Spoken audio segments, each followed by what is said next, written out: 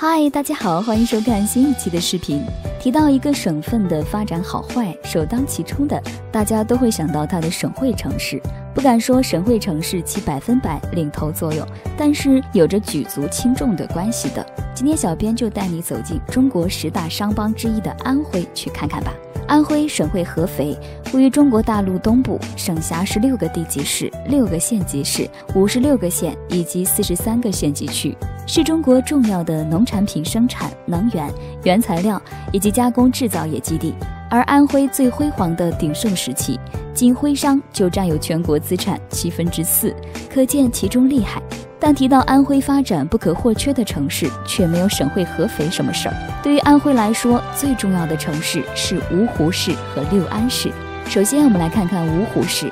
芜湖地处长三角西南部，是华东重要的工业基地、科教基地和综合交通枢纽。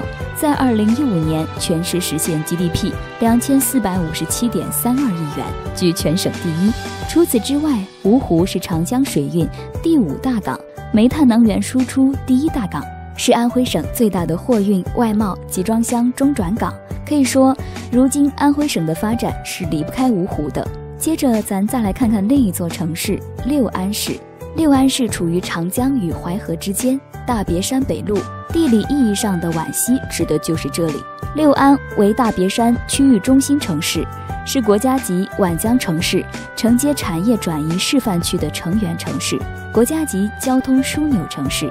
六安市素有“白鹅王国”“羽绒之都”美誉。是全国重要的优质羽绒原产地和集散地，羽绒服、羽绒被、鹅毛扇等各种羽绒和羽毛制品花样繁多，远销美国、日本、德国、加拿大等国。所以说，芜湖市与六安市这两座城市扛起了安徽省的大半经济，你同意吗？